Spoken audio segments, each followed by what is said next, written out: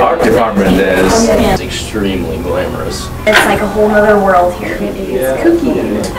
Bitchin'. Hands on. Really. Centric.